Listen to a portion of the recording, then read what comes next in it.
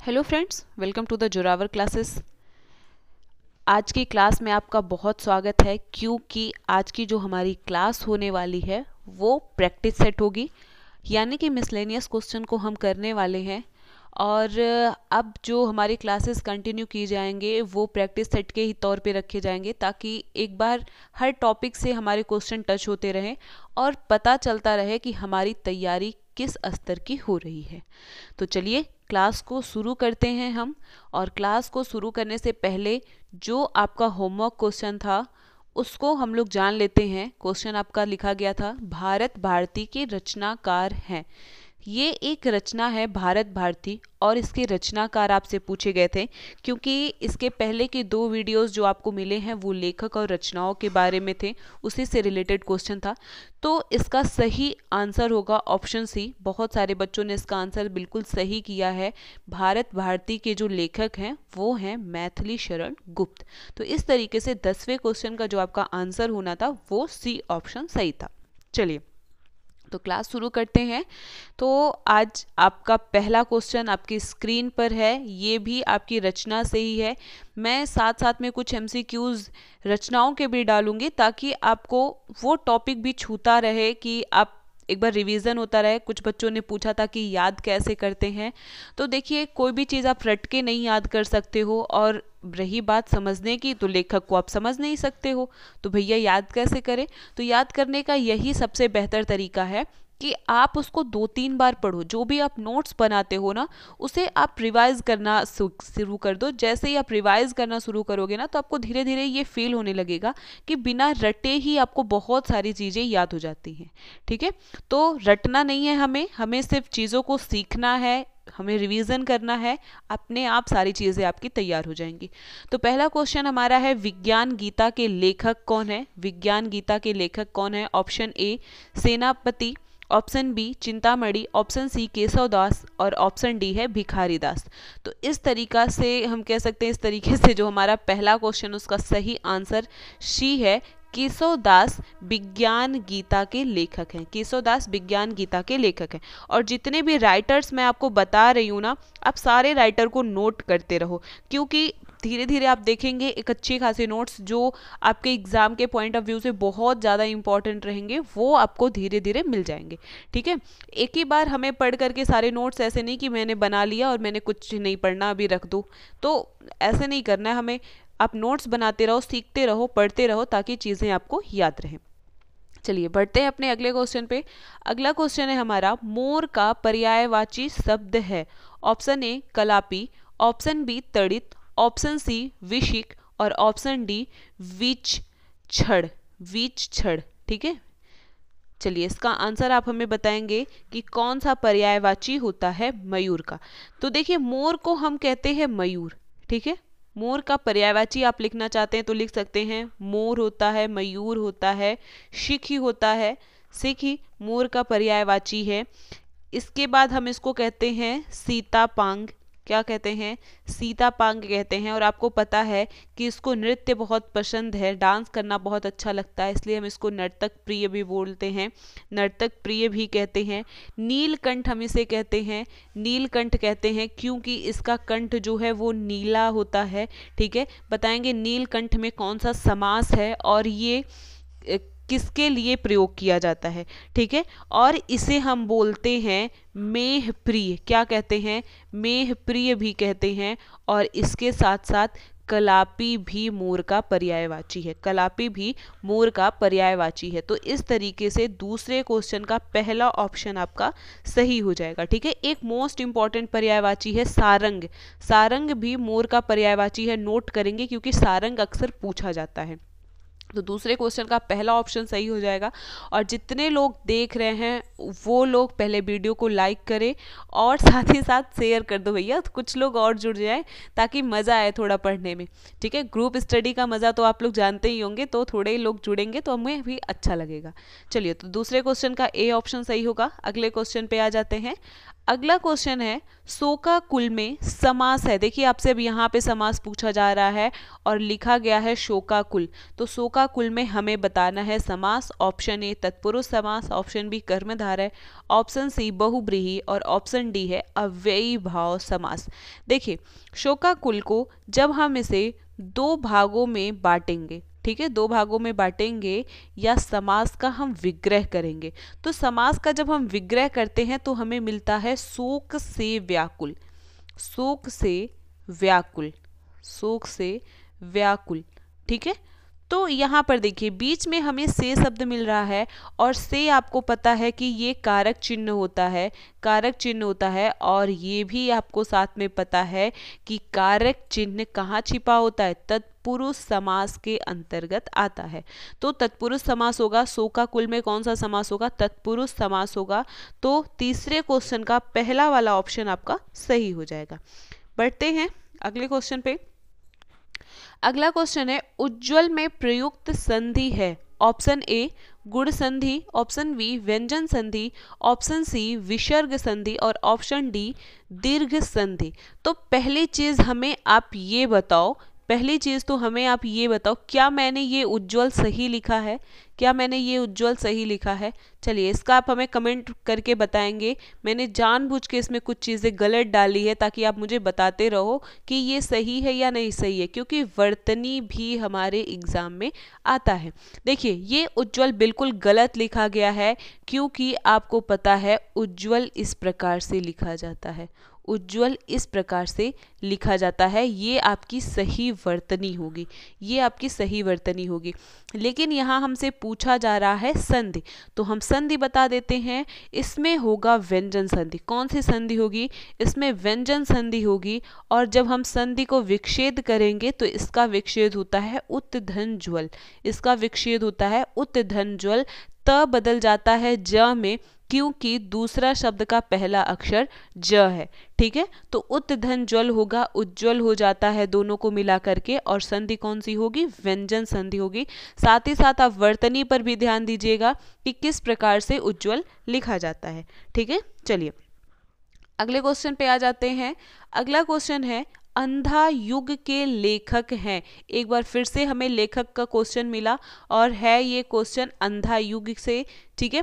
बहुत अच्छी कह सकते हैं, ये विधा है जहाँ पे कह सकते हैं कि बहुत अच्छी अच्छी चीज़ें बताई गई हैं। ऑप्शन ए है Girija Kumar Mathur option B Dharamvir Bharati option C Muktibodh और ऑप्शन डी है इनमें से कोई नहीं। आप किताबों को पढ़ने की आदत डालिए, ठीक है? आप किताबें जब पढ़ते हैं ना तो किताबों से हमें बहुत कुछ सीख मिलती है। पहली चीज़ तो हमारी वर्तनी सही होती है, ठीक है? दूसरी चीज़, हमें नए नए शब्द सीखने को मिलते हैं। तीसरी चीज़ कि हमारा जो बात करने का तरीका होता है, वो धीरे धीरे हमारे शब्दों में, हमारे बातों में वो बदलाव नज़र आता है, ठीक है? और बहुत सारी चीज़ें हम ऐसे किताबों से सीखते हैं।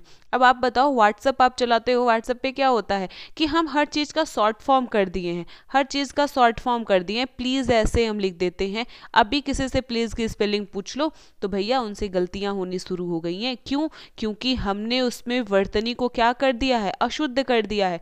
तो व्हाट्सएप फेसबुक के दुनिया से थोड़ा सा आप समय निकालो और किताबें पढ़ना शुरू करो। फिर आप देखोगे अपने अंदर परिवर्तन। आप टीचर बनने जा रहे हो, कुछ शिक्षकों वाले आदत आपके अंदर होंगे तो और मज़ा आएगा, ठीक है? तो अंधा युग के लेखक कौन है? ऑप्शन बी आपका सही होगा, धर्मवीर भारती। ऑप्शन बी बिल्कुल सही है इसका। अंधा युग के लेखक कौन है? धर्मवीर भारती। चलिए अगले क्वेश्चन को देखते हैं। अगला क्वेश्चन है, सदैव में प्रयुक्त संधि हमें बताना है। सदैव में प्रयुक्त संधि बताना है, पहली चीज़ आप ध्यान से सदैव शब्द को देख लो। अगर मेरे लेक्चर को आप आराम से सुनते हो, थोड़ा नोटिस करते हो तो बिल्कुल आसान है आपको बताना कि इसमें कौन सी संधि है। ऑप्शन ए व्यंजन संधि। ऑप्शन बी स्वर संधि। और ऑप्शन सी है, विसर्ग संधि। ऑप्शन डी इनमें से कोई नहीं। तो भैया सदैव में कोई ना कोई तो संधि है। एकदम निश्चित है क्योंकि आप इतना याद करो कि किसी ना किसी एग्ज़ाम्पल में मुझसे ये शब्द ज़रूर आपने सुन रखा होगा। तो ऑप्शन डी नहीं होगा हमारा। आपको तीन ऑप्शन में से बताना है। हम सदैव जब इसका हम विक्षेद करते हैं ना तो हमें मिलता है सदा धन एव। क्या मिलेगा? सदा धन एव मिलेगा। और अ के बाद अगर ए आए तो किसमें बदल जाता है? ए में बदल जाता है। जिसपे एक भी चोटी नहीं दिखेगी, उसकी मात्रा सिंगल आती है, ठीक है? और जिस पे एक चोटी दिखती है, उसकी मात्रा डबल आती है। और आप लोगों को मैंने बताया था कि जब आपको इस तरीके से दो चोटियाँ दिखे ना तो समझ जाइएगा कि वहाँ पे वृद्ध स्वर संधि होगी। कौन सी संधि होगी? वृद्ध स्वर संधि होगी। लेकिन यहाँ पे हमसे वृद्ध यड़ नहीं पूछा गया है, बल्कि क्या पूछा गया है? स्वर संधि ही पूछा गया है, क्योंकि स्वरों स्वरों का क्या हो रहा है? मेल हो रहा है, स्वर स्वर आपस में मिल रहे हैं। तो इस प्रकार से छठे क्वेश्चन का सही आंसर क्या होगा? ऑप्शन बी बिल्कुल करेक्ट आंसर हो जाएगा। चलिए नेक्स्ट मूव करते हैं। अगला क्वेश्चन है, कवि जगनिक की रचना का नाम है। आपको रचनाएँ दी गई हैं, खुमान रासो, मृगावती, परमाल रासो और पद्मावत। ठीक है? इसमें हमें बताना है कि कौन सी रचना जगनिक की है, कौन सी रचना जगनिक की है।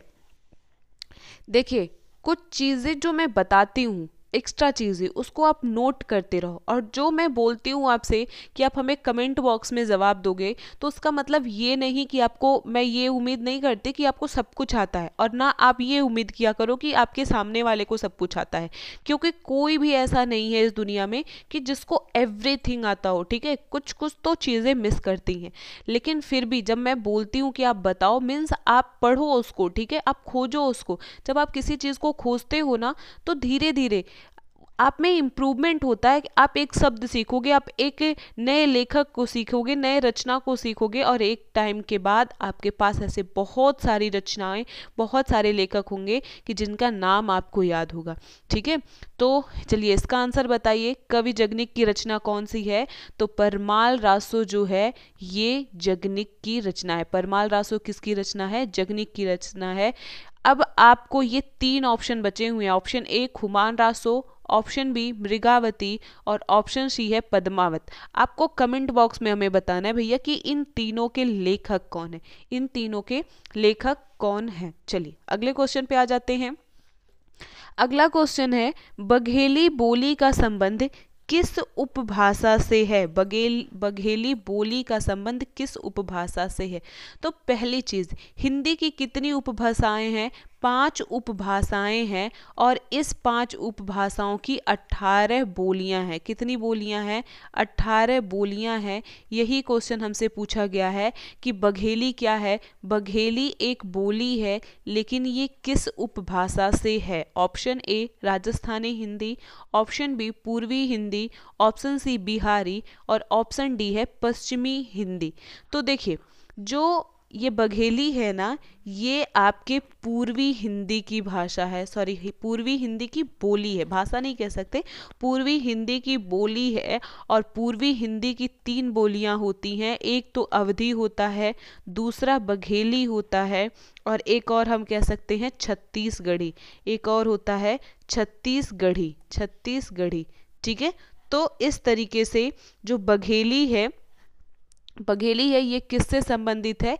ये पूर्वी हिंदी उपभाषा से संबंधित है। आठवें क्वेश्चन का आपका करेक्ट जो आंसर होगा, वो ऑप्शन बी हो जाएगा।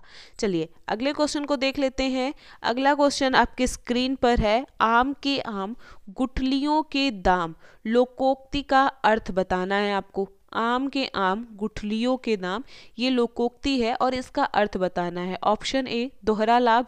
ऑप्शन बी, महँगाई बढ़ाना। ऑप्शन सी, काला बाजारी। और ऑप्शन डी है, कमर तोड़ महँगाई। कमर तोड़ महँगाई। तो देखिए, आप आम तो खाते हो, लेकिन क्या उसकी गुठली भी खाते हो? नहीं। गुटली खाने का मतलब होता है दोहरा लाभ। गुटली खाने का मतलब क्या होता है? दोहरा लाभ। कि मतलब आप तो आम के लिए उसको खरीद के लाए थे, लेकिन उसके जो वेस्ट हैं, उसका भी हमने कोई ना कोई यूज़ कर लिया। यानी कि हमें क्या हो रहा है? दोहरा लाभ हो रहा है। तो इस तरीके से नौवे क्वेश्चन का जो सही आंसर होगा ऑप्शन ए सही हो जाएगा। तो चलिए, आज का लास्ट क्वेश्चन जो आपका होमवर्क क्वेश्चन होने वाला है, आपको बताना है पद्मावत रचनाकार का नाम। और अगर आपने नोटिस किया होगा तो मैंने आपको वैसे ही दे रखा है कि पद्मावत रचनाकार कौन होंगे, ठीक है? पद्मावत के रचनाकार कौन होंगे। तो इसका आंसर आप हमें कमेंट बॉक्स में करेंगे। साथ ही साथ, आप रोज़ क्लास को कंटिन्यू करो, क्योंकि अब हमारी जो क्लासेस होने वाली हैं, वो वो मैंने बता दिया कि मिसलेनियस क्वेश्चन के चलने वाले हैं और मैंने एक चीज़ सोच रखा है कि इसके बाद की जो हमारी क्लास होगी, कल की क्लास में मैं एक बार आपको के का सिलेबस दिखाऊँगी के हिंदी का सिलेबस दिखाऊँगी कि हिंदी में कौन कौन से हमें टॉपिक पढ़ने हैं, क्योंकि बहुत सारे बच्चों को अभी थोड़ा कन्फ्यूज़न है कि क्या उसमें है, क्या नहीं है और दूसरी चीज़ कि किसी दिन मतलब जब भी ऐसे हमारे सीरीज़ चलते रहेंगे तो बीच बीच में आपको के के भी पेपर कराए जाएँगे जो प्रीवियस ईयर में हुए हैं। साथ में डी ट्रिपल एस बी के भी डी ट्रिपल एस बी के भी मैं क्वेश्चन कराती रहूँगी। ठीक है? तो चलिए, मिलेंगे नेक्स्ट क्लास में नए वीडियो के साथ। तब तक के लिए थैंक यू दोस्तों।